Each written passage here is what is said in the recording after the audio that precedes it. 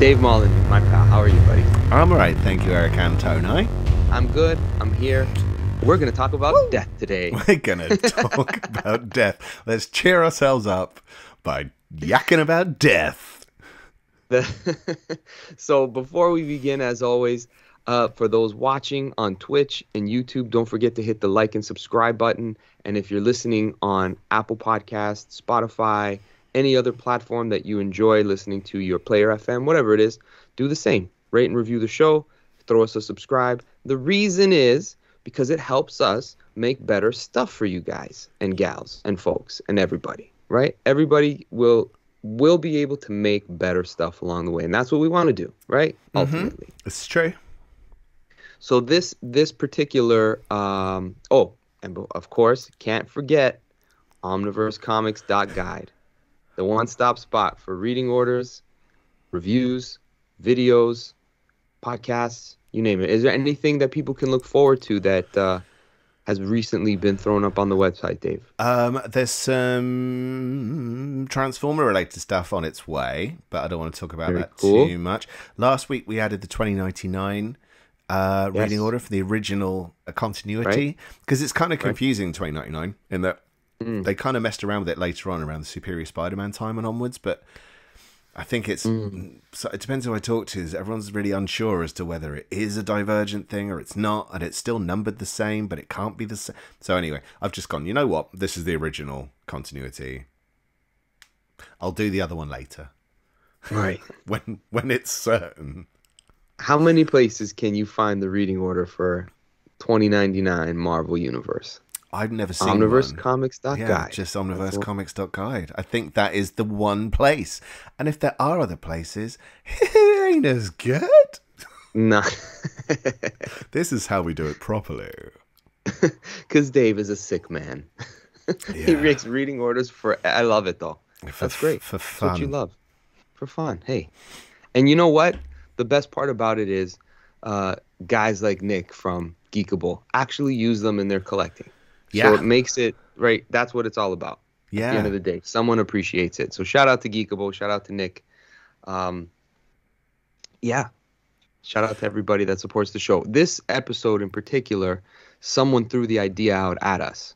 K Fire six eight nine. K Fire six eight nine. Yes, well done, dude. Thank you so much.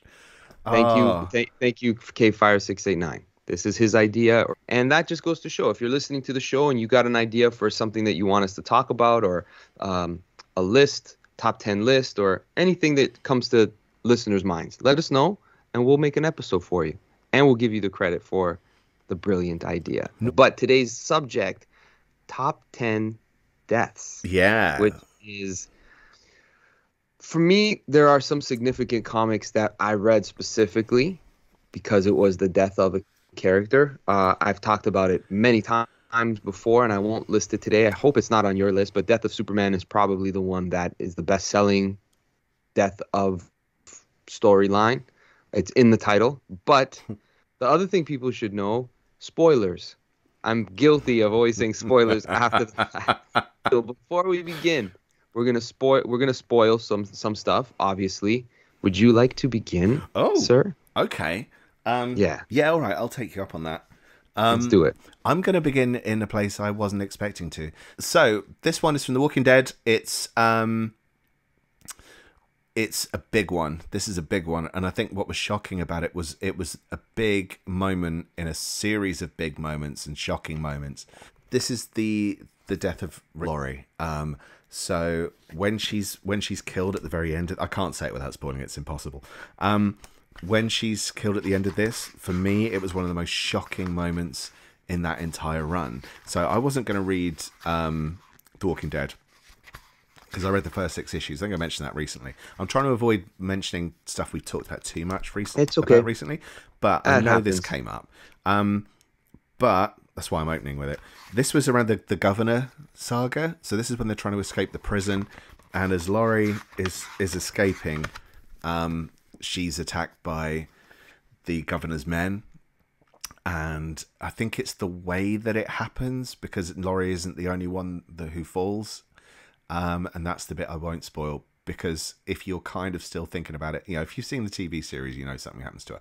The way it plays out in the comic is very different. So, and I would say that the comic deals with it in a more shocking way and a much better way. The comic is way superior to the TV series. And I know the TV series meandered, and I know I haven't, I finished neither. Um, yeah, it's like uh, Marvel Man's literally just commented the death was so shocking, but loved it. And that's the thing. This is, it made me go, this is horrendous. This is horrendous. But like, I have to now read the, the second compendium. And it's, you know, these are a commitment, man. These are beasts. And this, this was issues 1 to 48. And, we get hit with it at the end of that story arc, and it is it's a stunner. Um, it's not something you see happen the way that it's done. It's not something you see happen in comics or fiction in general. Um, it's super dark, but it was such a it was such a stunner that honestly that that made me just fall in love with The Walking Dead as a series. It made me realize just how good Robert Kirkman had become because at the start of this series, the dialogue's a little clunky and it was like, it's okay. And as he works through it, it's a little bit like, um, I don't want to mention Invincible again, but it, um, it's a bit like that in some ways, and the dialogue's a bit clunky, but as it goes on, it starts to really improve rapidly because like his skills just hone. It's a great book. Um, and it's one of many, many jaw-dropping moments in this in this title. Do yourself a favor and pick it up. If you think the series wasn't great, doesn't matter. Just ignore the series. Just get the damn book. It is one of the best comics I've ever read, and I do need to finish it because I've read half of it. I haven't read or watched the show. Have you not? None, neither. No. Oh my god, it's so good. Um, yeah, I mean, I've only heard good things. Like people were talking about the show ad nauseum at one point, and it was irritating because it was like, you know, it's a comic book, that's not a comic book. Yeah, it's a comic book. Yeah. And like once you read it, no, the show's just too good. Okay. Um, I, zombies weren't my thing. Like I just wasn't into like Same. the horror and stuff like that. Yeah. So it was I wasn't drawn to it. I had no doubt that it was good just because of the word of mouth. Like, mm-hmm. hey, this thing's existing. Everyone's buying it. People are constantly talking about it. But I never I never dipped my toe. But um, yeah, if it's if it's if you put it up in into one of your favorite books that you've read, yeah, I definitely give I definitely give it a try. Because that's the thing. It's it's funny because it's around about a time as well that even though manga sells really well, you don't release an American series with no color in it and expect it to to survive. It's a black and white series.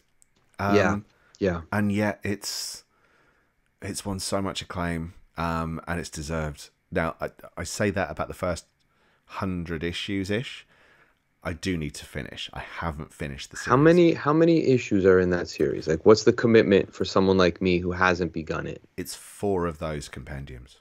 Uh, 48 page 48 issues a pop. But I think the last issue um which just falls short of 200. I think it's like 3 issues worth in one comic. So it kind of brings it up to the 200. Something something like that, I think. I, I can't quite remember, but yeah. Okay. Um, Yansem also says, I still have that page burned into my mind, or burned in my mind. Like, wow. It's wow. honestly, wow. the payoff in this book, there are pages that turn and you're not expecting what comes next.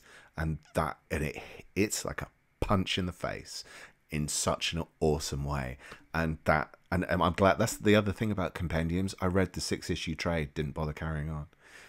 Uh, my mate Pete Ware um, lent me the the compendium and I I read through the whole lot in a, a couple of days. Nice, very nice. That's cool. Um, I'm actually going to not stray far from your pick, mm. and I'm gonna. Yes, I'm going to mention it again, and it's the Invincible. There are plenty of moments you can pick, and I'm not going to talk about this too much. For those that know, they know. If you haven't given this book a try, give it a try. But this is this is a cheat, but it's the it's the death of a team. Guardians of the Globe. Mm.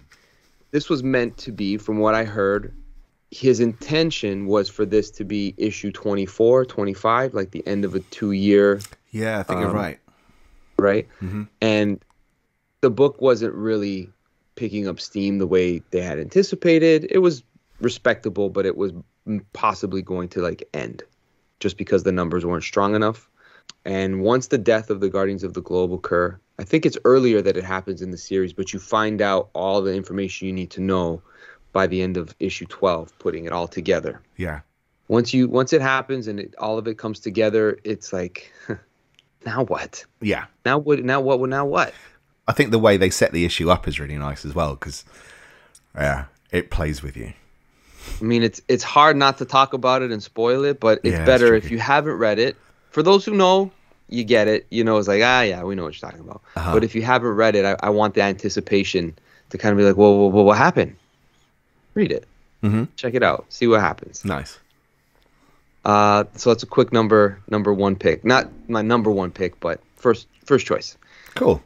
Dave, take it away. I'm going to have a quick number two. So um, when I quick, when I come back, we'll talk about we'll talk about this. This is um, this is kind of hard to explain when this is because it's it's going to be really difficult not to just spoil the entire story because it is it's kind of oh. a done in one story. I'm finished. Oh, we're finished. it's kind of a done in one story. Um, I'm going to do that Leo Sayer move every time. Do you even know who Leo, Leo Sayer is? Did you have him in Canada? I don't know who Leo Sayer. Oh my god, who's such a bizarre. Anyway, I'll explain another time. Um, okay. But basically, yeah, this is um, it's a Spider-Man, Amazing Spider-Man annual so it's a one-off story, and it's not like a lot of the time annuals. They ended up becoming this kind of mess of an anthology by the '90s uh, or yeah. late '80s.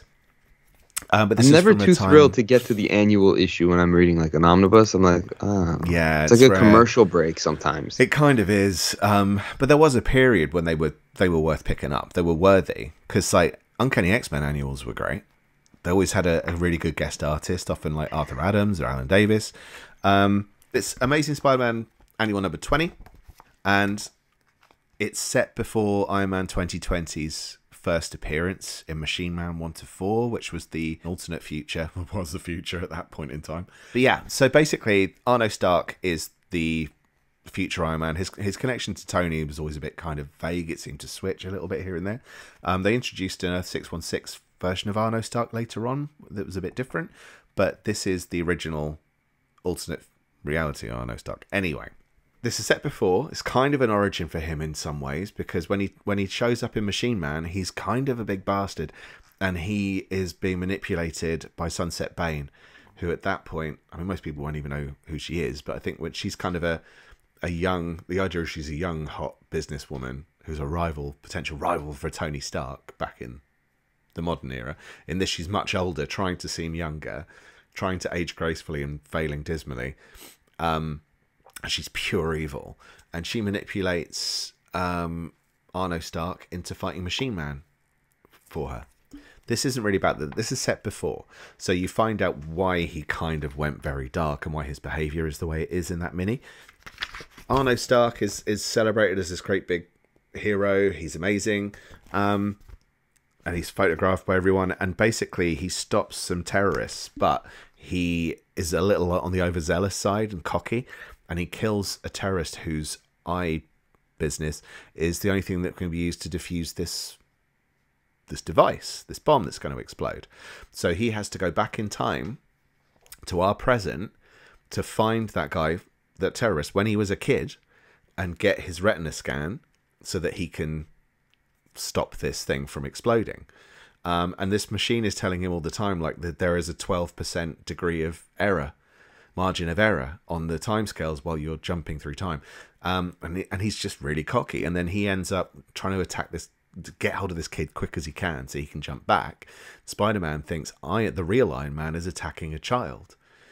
Um, like a 12 year old child. So he's basically stepping in. It turns out Spider Man's being just as arrogant and ignorant as Iron Man is. It was back in the day when good guys used to fight good guys, and you go, seriously, if you just went, hang on a minute, are you here for this? And they go, yeah, you. And they go, yeah, and it would be over, but they don't because then you don't get six pages of fight scene for no reason with an inconclusive scrap. But um, it's what makes it fun, right? So they fight toys to fight each other, right? The toy. This is what we're here for, isn't it? What, yeah, you know, that's what you they get didn't even for. Fight each other like, like that what? would be so disappointing. Yeah, be, yeah. Oh, there'd be uproar. Um, screw you, Amazing Spider-Man Annual Number Twenty. Nothing happened.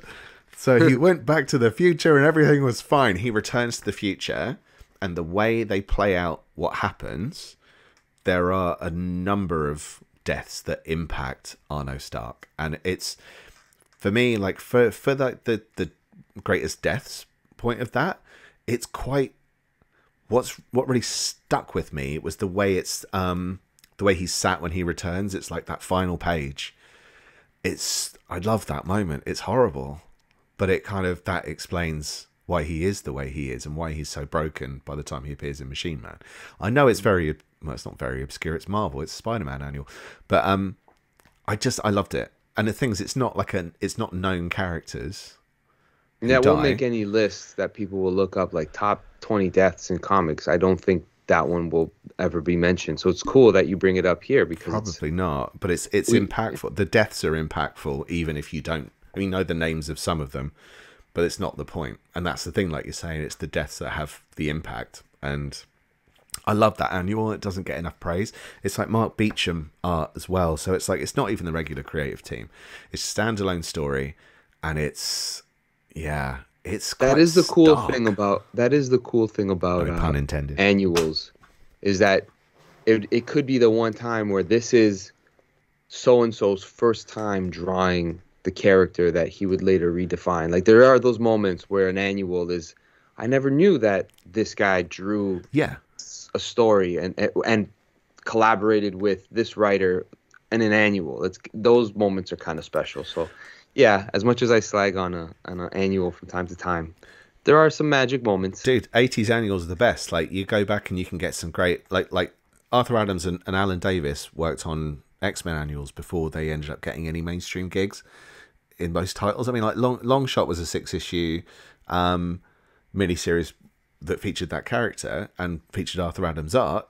But in terms of the big name characters, he was mostly doing annuals or like that New Mutant Special Edition.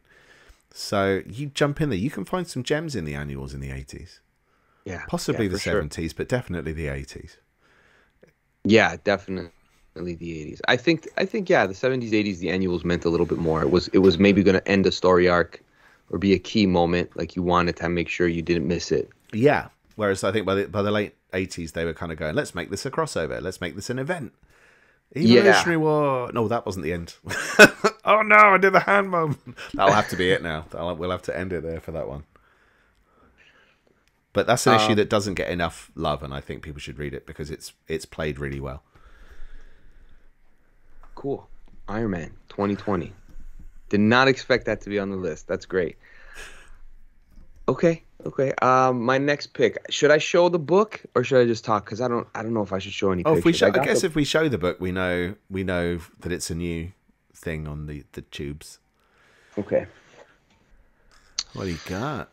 Ah, I like I like it when it piques your interest. So this one isn't the death of a hero; it's the death of a hero's spouse, and it uh, it was controversial, I think, at the time, and I think in some some ways still now. But it was one of those things where the aftermath and what it did for that character actually made it somewhat interesting. I don't know about you, but I never read anything elongated man related. But in the new 52, yeah, I was very interested in uh, Ralph Dibny and his journey in life and all the things that he gets himself into because of this story. Identity Crisis. Mm-hmm. Brad Meltzer, the fame I don't know if it's in the middle. Yep. Brad Meltzer, the uh, famous novelist, with Rags Morales, who I got to sign this book for me, which was really cool at a con. Um, spoilers, but Ralph Dibny's wife is murdered uh, in a very sadistic way. It's shocking. It's a disturbing story as far as the heroes are concerned and, and their relationships with each other, the secrets that they keep, some of the things that they do or had to do in order to, I don't know, make things right is very. It, it, all the heroes find themselves in a place where they're questioning their own in, incentives, their morality, their like, where do we draw the line with what we should and shouldn't do, and how did one of our our people how were they killed? And we can't figure out who would have had any interest in doing that. Like, what would be the motivation for something so heinous? The art in this is pretty cool. The image of Ralph Dibny crying. Yeah. His, his, entire like, if for those who don't know the elongated man, he's basically got the same power set as uh, Reed Richards, like they stretch, right? Mm-hmm. They can use their bodies in different formats. That's DC's version. This in this way, he's a detective. In in the DC universe, elongated man is is considered detective, but he can't figure out who would do this to his wife. And the scene of him crying, holding her, it's just like it's it's a perfect description of how people feel. Yeah. They lose somebody. Yeah. Like your whole body melts, right? It's it's. That's the thing. Should I? It's why he's gonna, such a perfect character for that in a way because you see his, like his reaction. It it's conveyed so well in in a physical way. I nearly picked one of the later stories connected to this, but I'm not gonna I'm not gonna go into it now. But it's just funny that this sort of nearly made the list for me.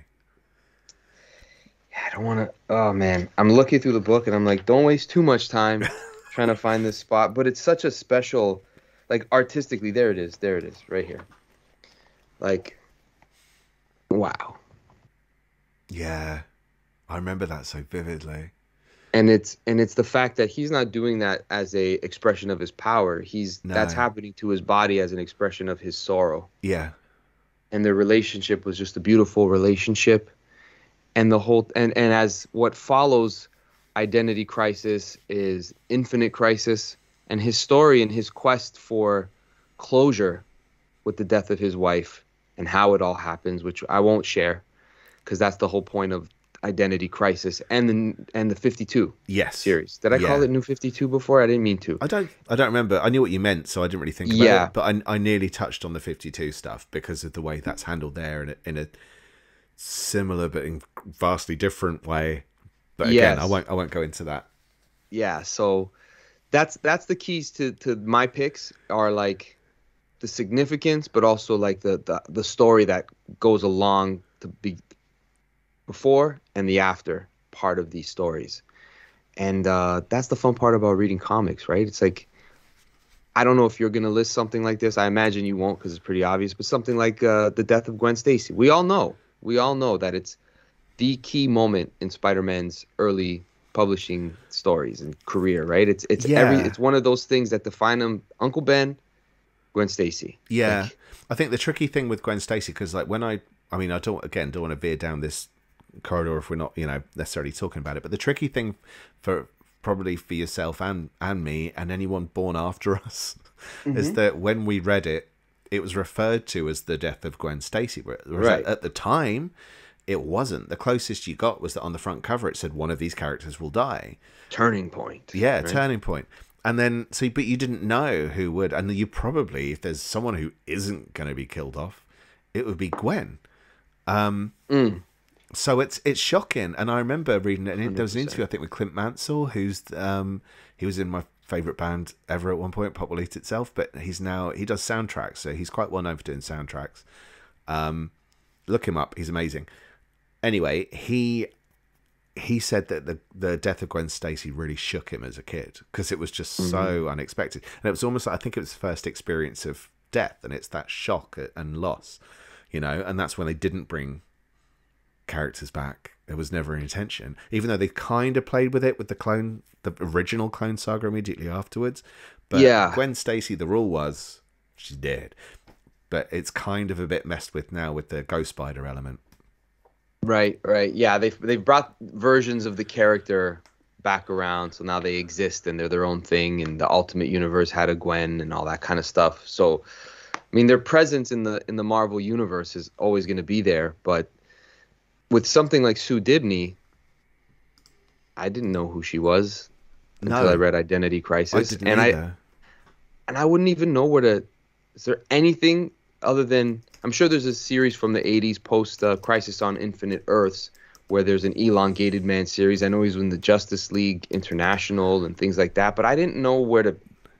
I had no interest in the character. No, me either. I think it's Justice League Detroit, but I'm not 100% on that. But I think like she's too, one right? of those perfect couples, and that's why yeah, no one's going to mess with him and then they did. That I think there are some people that look back on that series now with some disdain who used to think highly of it. I, I think I still liked it. I mean, I, I remember liking it because it's quite dark and it was quite shockingly dark. I never really saw DC that way. So, um, we we do have a comment from Omega Bread where he says his melted visage is, is heartbreaking. Um, and yeah. he hadn't read any elongated man beforehand and followed him all the way into 52. Um, and his nose twitching. That's the way you phrased this, you bastard. I thought when his nose was twitching in that series indicated that it developed a coke habit after Sue's death. Um, yeah, but that is the thing. He would he would sense crime with his nose twitching, and it was all it were quite sweet characters, but not necessarily the most memorable. Um, and that's why I think people were quite still quite protective of them though, because they're of that time, and then that brought them into a very dark period. But it just I don't know. Some people love it. Some people are a bit weird about it. I like it because I like dark shit, and I wasn't that attached to them. I didn't know who they were until that moment. Like no, me say, neither. So. And and what follows in the the 52 series, like I said, it's one that's a great series. Oh, it's uh, so good. An incredible task, an incredible feat yeah. that they um, successfully managed to pull off. Yeah. With four big writers, um, guest artists that are are using Keith Giffen's layouts, all these different stories being told that are very big, big stories, right? Mm. With all the characters that are featured in it. And then you've got Elongated Man, or Ralph Dibny, I should say, on this quest that is very much out of, it's, as far as I know, out of his element, right? Yeah. Trying to, I'll just put it this way, find closure when it comes to the death of his wife. Yeah. And it's very relatable that's for sure. I think I think a lot of people could relate to something like that and the feelings and the expressions of the artwork throughout that book. And I like the fact that heroes I mean, you know, we look at these heroes for a long time as being bulletproof and, and without flaws. And the truth is from a different perspective, you can easily turn these heroes on their head and they'll look like the villains. Like they're not not all the things they do, even with the in- intentions being good, a lot of times you're like, you know, this only is happening because you exist, because you feel you have to do what you're doing. Like maybe if you just stopped and and then they don't know where to end their like, well, we have the means to do it, so we should do it and and yeah. we have to do like that's I think why people get I, I don't know how people feel story wise, but I think a lot of the choices made. It's like the way people look at sorry, this might be another death, but like the Green Lantern fridging situation, right? Famously, where it's like, why did so bad, such bad taste? Da, da, da, so they might look at this in such bad taste, but it brings out the best and worst in the characters, and that's what we're here for. Yeah, yeah. yeah. So I think that well, one successfully pulls it off. Yeah, no, I totally agree. Although, funnily enough, if you're if yeah. you're happy to for me to jump on the numbers, jump jump on. Speaking of the Green Lantern, mm. uh, this little butte. Um, Talk to me. Green Lantern by Geoff Johns Omnibus Volume 1. Got mine right here. It's a little on the heavy side. Um, great one. Now, it's been a while great, since I've read this, book. so bear with me. Okay, so the again, this isn't necessarily about specific characters; it's the way it's handled. Um, what's going on with my mop? Um, God, look, I look like a two-year-old. I like your cowlick. It's good. It's great. just shave it all off. Um, yeah. So it's not. It's not. I can't necessarily even tell you who doesn't survive this thing, but it's it's the Sinestro Corps War. Um, mm. What is so good about it? One of the many reasons. I mean, the thing is, this thing has got some beats in it, um, and this is all about the manipulation of the Guardians of Oa. Um, so all these things happen to make them make decisions and change the rules of what Green Lanterns yeah, are not yeah. allowed to do. Um, that was my one of my favorite features of that series yeah. is the way that they got away from like what a stupid thing to hold a character back. How do we get out of that? This was brilliant. Go ahead. It was, and that's that's because you're absolutely right. I mean, like the the one thing they didn't change that I wish they did change was the rhyme. So you got to hold up. I've got to stick out my ring and say a rhyme. Like, what?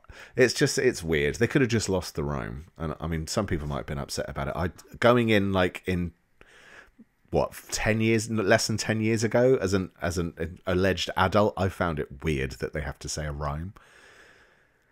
You know what's cool about it though? It is one of the. You know how we were talking. I don't know if it was last week or the week before where we were talking about the if you know you know comic book fan sort of thing. We yeah. were talking about the, the guy with the tat at the Deadpool. So I was at an airport once and I was uh, wearing a Green Lantern T-shirt, right? Yeah. I'm a comic guy. I love Green Lantern. And one of the security guards looked at me and goes, "Nice T-shirt." I'm like, "Thanks." Goes, "Do you know the, you know the Green Lantern oath?" And I'm like, "No." Yeah. He actually, and he and I was like, "I do." I go, "It's it's not coming to me right now because I'm trying to look for my passport or what." And he just he just did it. And, dark, and blackest day and darkest night and or brightest day and darkest like he knew the whole thing. No evil. I'm like okay all right all right all right high did five, he know but, the other like, 12 verses as well that no one knows? I don't, I don't no not that not that he just knew the might be making out. The, the 12 inch remix that's what he yeah, starts yeah. laying down beats. So so there is a cool part of it that's like when people it's like okay you must have read way too much green lantern at some point in time because he was a he was a little bit older. Yeah so I was like in my, and he would must have been mid 40s to 50s. I'm like, okay, this guy knows his comic book stuff. To know the oath, and to feel compelled to share it at the at the airport. How long ago was, was this? I was in my 20s. Oh, jeez. I don't know. I was. I think. I think Johns was still on the, the book. Oh, it could be because that was the thing. Everyone was jumping on, and I saw yeah. loads about this in Wizard, mm. and that's the thing. Like one of the key things, and they've collected in absolute format. I think they've only collected this the Sinestro Corps War, but the and the, rebirth, rebirth as oh, well. They've done rebirth as well. So that's the thing. Like with absolutes, they're great, but if they're not going to do everything, and I can't imagine they would because it's three omnis worth. But anyway, you have um, a lot of holes in the story. That's a lot. Sure. Yeah, I don't really see the point. Then you just end up with two chunks. Um, but for me, it was this. It's basically when Sinestro forms his Sinestro Corps, and they attack the Green Lanterns, and literally this is the spoilery bit. They are wiping them out. They are wiping them out. So when a lantern dies, they the ring comes off, and it says that um, this lantern, basically lantern, is of, of whatever zone it is they work in, deceased, and then and they're all just all these rings are flying off.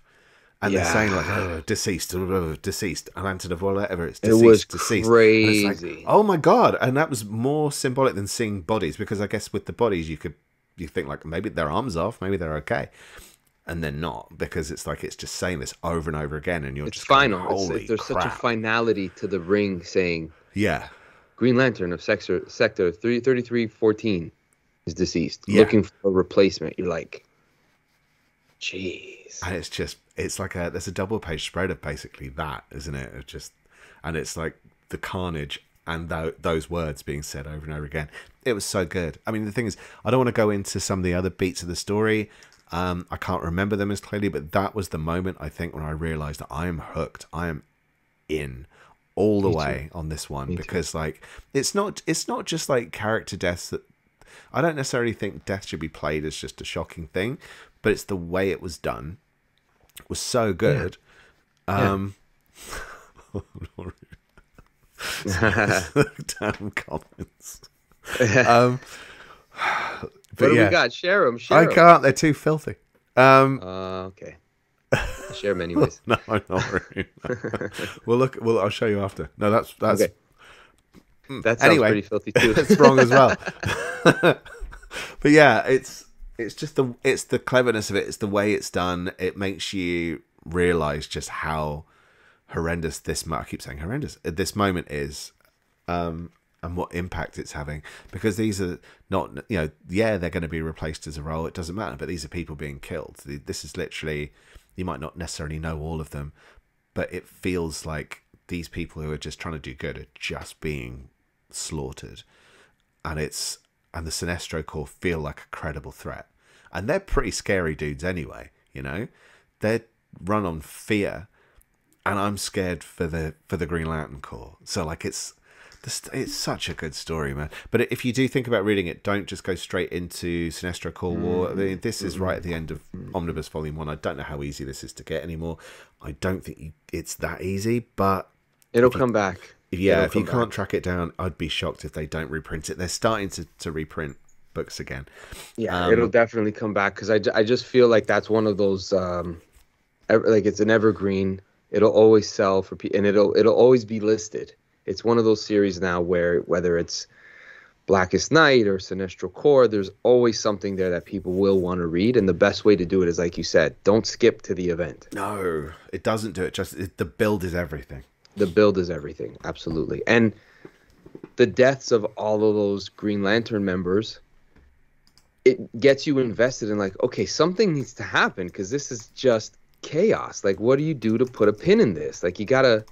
How, how, what are the Green Lantern? How are they gonna respond to something like this? you yeah. know, and and it gets it gets well, heavy. It gets the way good. they do, it does change a lot.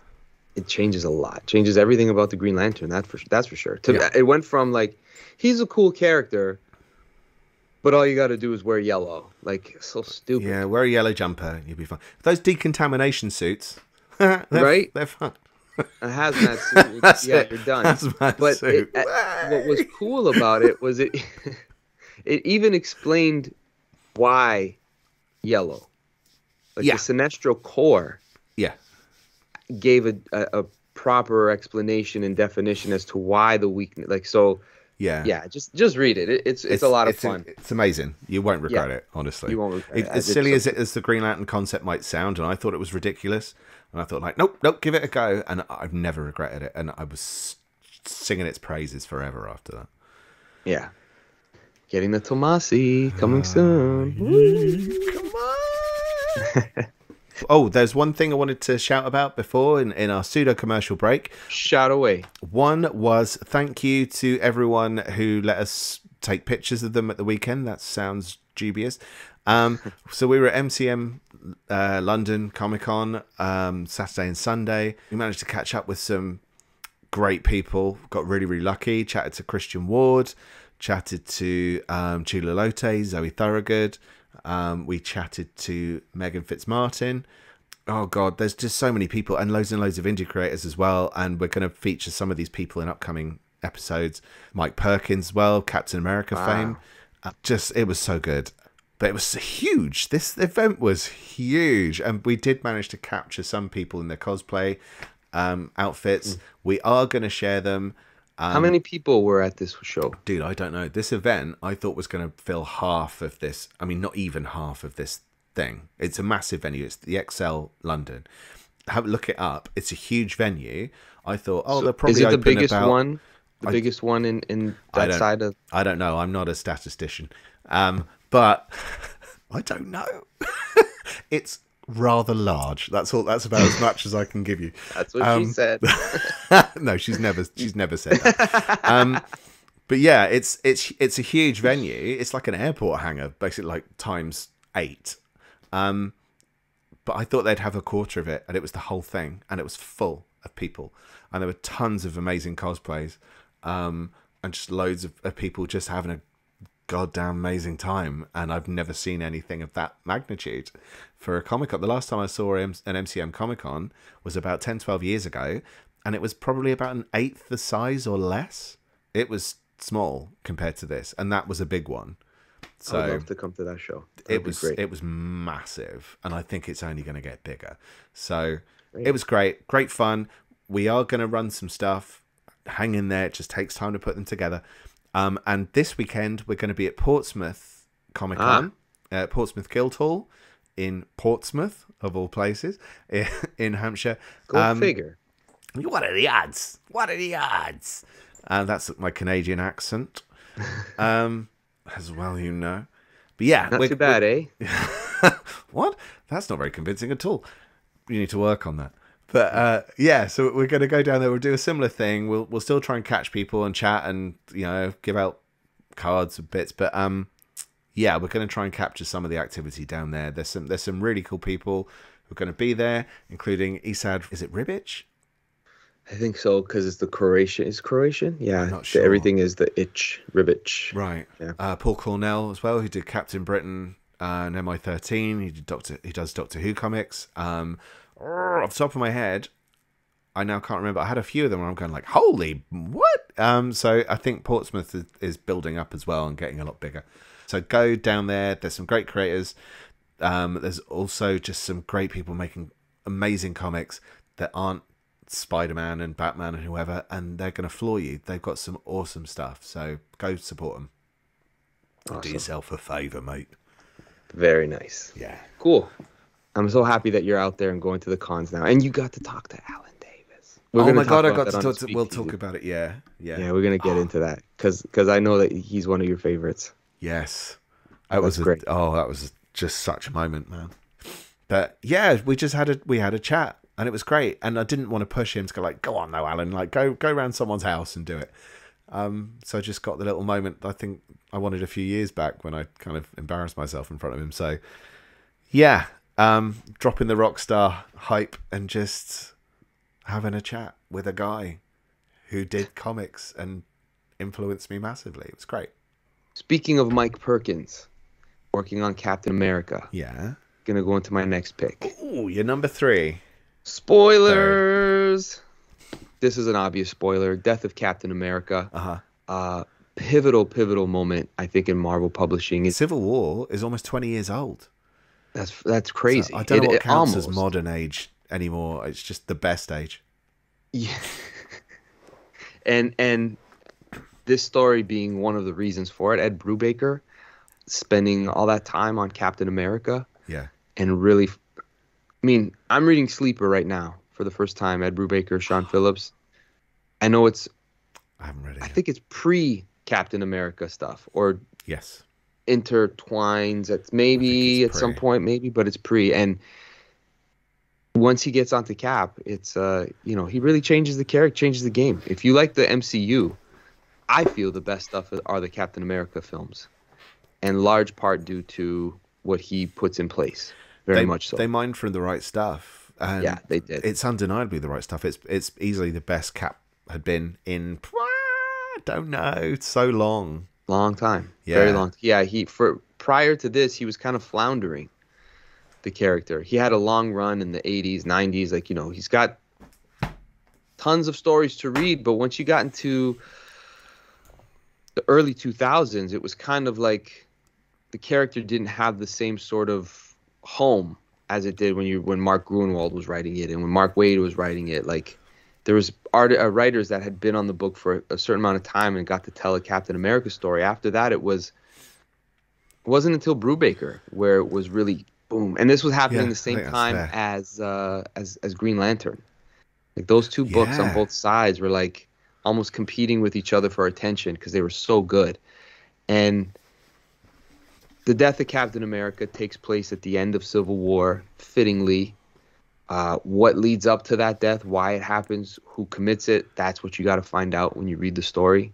But the aftermath is it possible that a very strong classic run of 25 issues, mm-hmm. the return, spoilers, the return of a classic character, yeah, um, the first introduction of the Winter Soldier, right? If you've seen the MCU, you know what we're talking about. But at the end of that, Cap dies, and the book gets better. Yeah. Without him there. And that's no slight to Steve Rogers. It's just the writing was so good, and the you know Bucky Barnes stepping into this role, that in itself is a whole experience. That there's no way to it's no way to spoil it. You got to read it. No, you can't spoil it. You know, you know that stuff's coming. Um, and even if you don't, it still doesn't spoil anything. It's it's such a it's such a good run, but it's like it when people go like, "No, it's a really smart political series." You go like, "Yeah, but it's superheroes, really." Like it really yeah. is a smart, very political series. But that's the thing. After you're right. After after Steve is killed off, there is no Captain America for a fair chunk of time, like almost a year, I think. It's, it's bordering like, on I, that. So it's yeah. not even it's Captain America as a title, but there's no no Captain America in the book, and it's a little while before before Bucky does put on a uniform. Yeah, so, and, and you, you, don't notice. Well, you, you know you do, but you, you you're in it. Yeah, to the point where when ultimately what happens in comics happens in this story, you're kind of like, well, we don't want this this part to end like when you read Superior Spider-Man, right?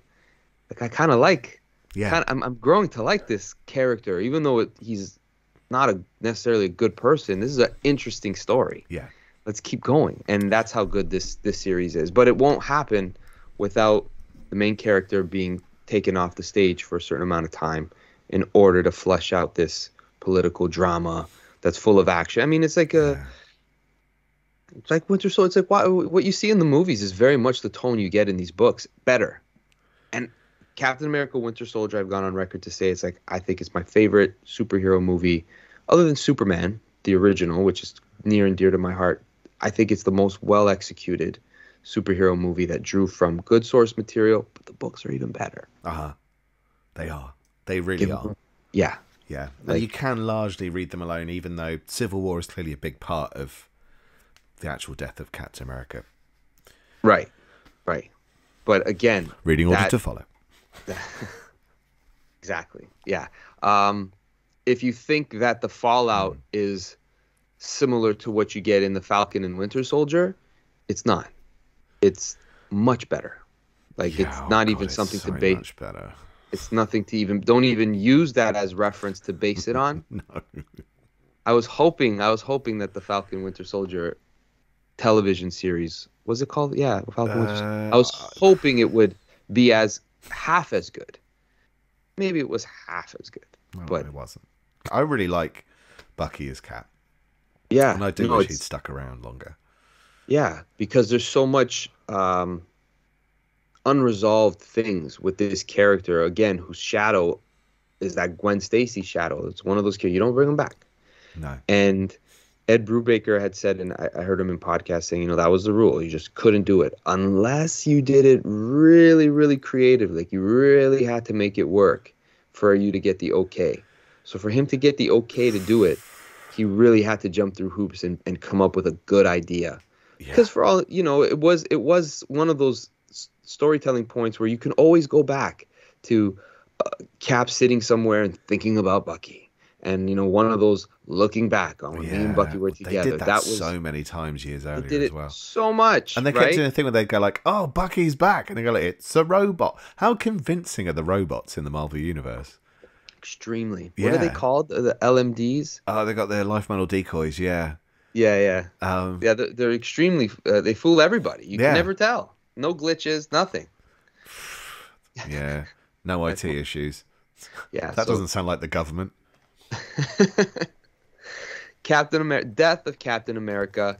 It's a uh, it's a bit of a cheat because it's all the story surrounding it, but that moment is pivotal in Not Marvel history. Yeah. Yeah.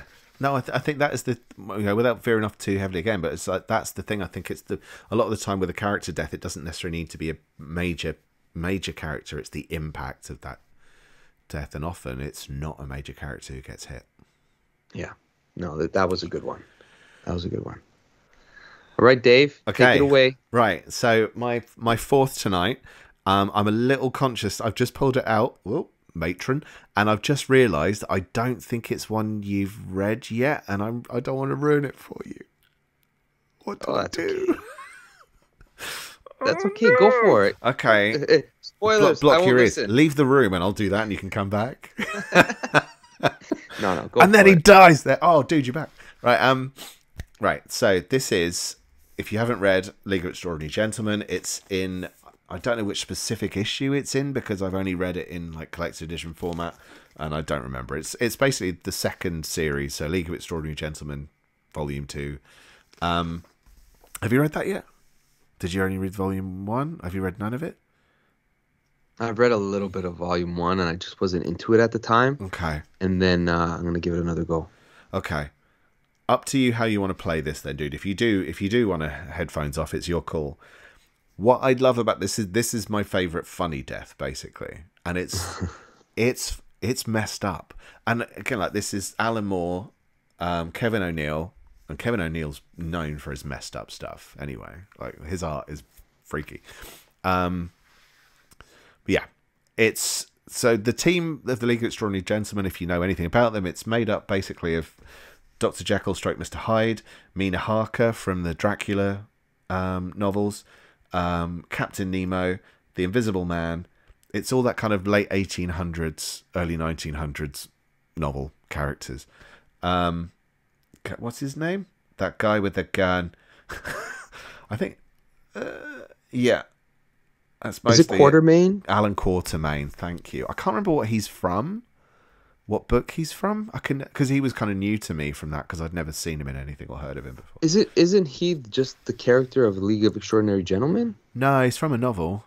Oh, okay. I just don't know which one. I mean, you, look it okay. up. Look it up while I'm doing this, and I'll pretend it was. Okay, okay. I'll pretend I knew, and we'll edit. We'll edit that bit out. But yeah. um. So one of the members of the team betrayed King Solomon's mines. I think you're right, Omega Bread. Thank you. I think it's King Solomon's mines. I think I no. I remember now. It was King Solomon's mines. Edit. oh, if anyone That's knows, though, with, oh, with, with those on live with well. us. They can they can fact check us, right? Yeah. Sorry, what did you say? No, nothing. I'm just dicking about. Okay. Um, yeah basically volume two is centered around the war of the worlds it's basically inspired by the war of the worlds so it's a martian invasion but one of the members of the team betrays the others um, if you haven't read this i would actually recommend reading it so you might want to block your ears if you haven't but i'm going to have to go into full spoiler zone here because basically mr hyde mr hyde finds out that the betrayed the team and you don't necessarily realize he's killed him until dies and his blood starts appearing all over the table. I'm not going to spoil it anymore. the spoiler is done. The spoiler is done. I'm not going to go into it in massive detail. The thing is, it's such a good, it's such a good death, but it's it's a very darkly funny moment. It's mm. really dark, um, and some of it's implied and involves buggery. So yeah. The reason why I plugged my ears was was the fact, not just that I hadn't read it, was that I realized that there was like a whole storyline lead like the the betrayal part. I'm like, okay, I'm okay with knowing that someone's gonna die because uh-huh. you don't know how, but I don't know. I don't want to know who is the uh, the Judas of okay. the story, if you will. Right? That okay. was the part where I'm like, that's where I want to be surprised.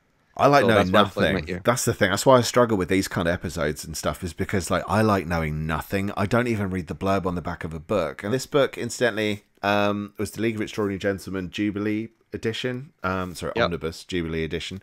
Um, it includes uh, the first two miniseries, first two six issue miniseries, and then I think it's got the Black Dossier in the end, if I remember. Yes, um, which I think this came up recently as well, but not that specific bit.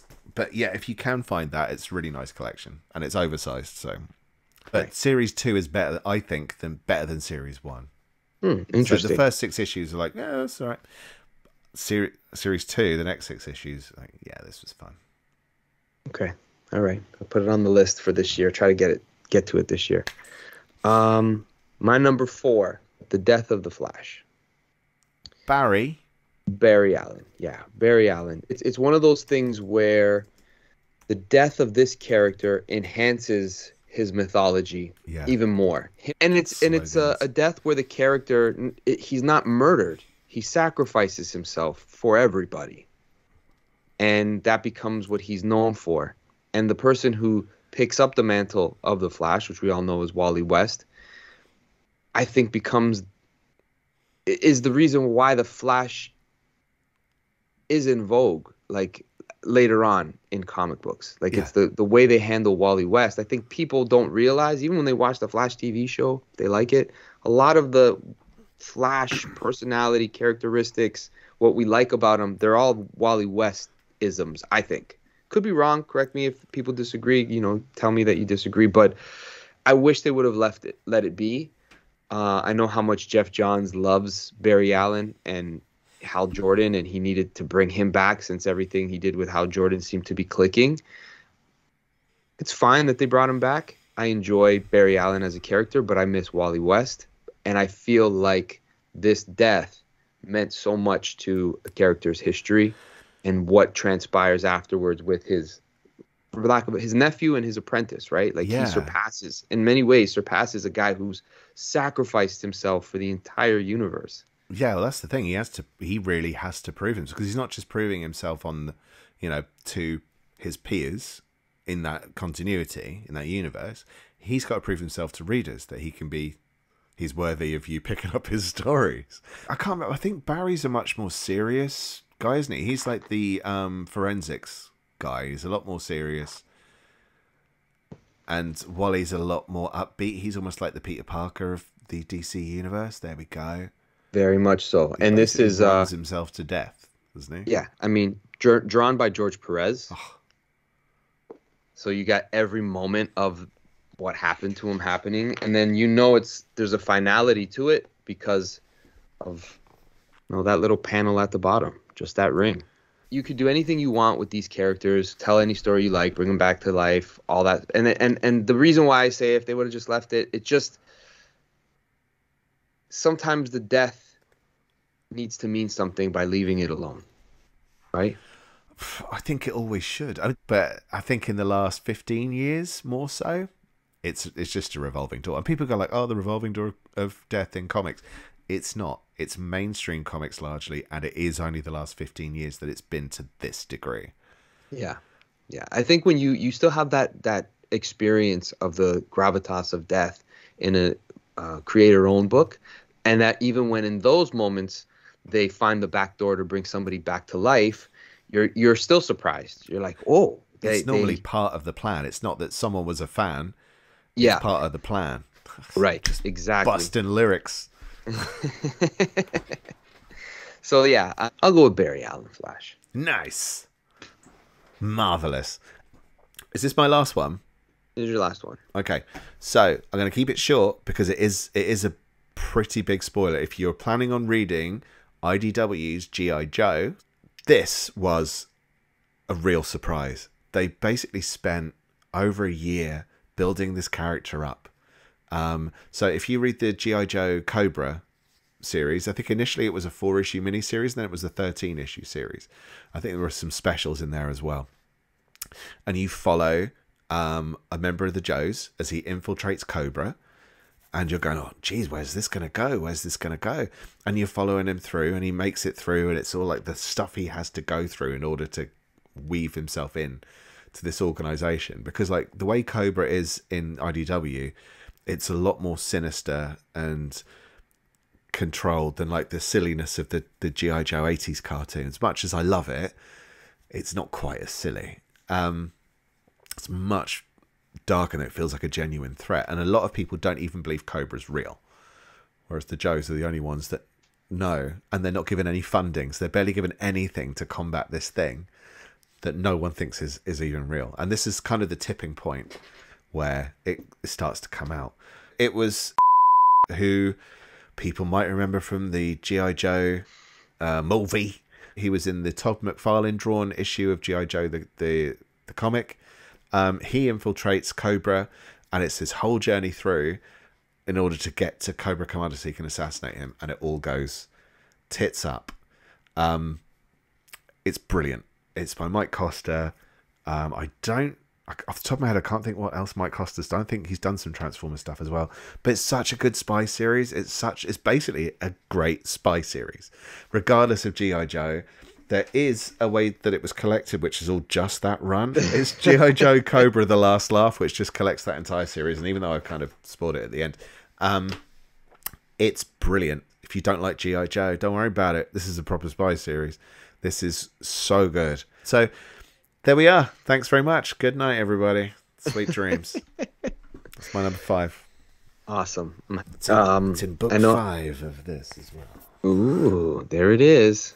There it is. Nice. All right. Uh, I'm gonna bring it back to um, Geekable. Another sh- Geekable shout out. Shout out to Nick. He mentioned this to you on on the episode that you guys did together, and that's the death of Captain Marvel. It's just a must read. Yeah. The reason being, if you read Captain Marvel stuff mm-hmm. that Jim Starlin worked on, when you get to the point in time where Captain Marvel is meeting his demise, it's not in battle. Yeah. He gets uh, it's what he calls the Black Death, which is essentially cancer. Yeah.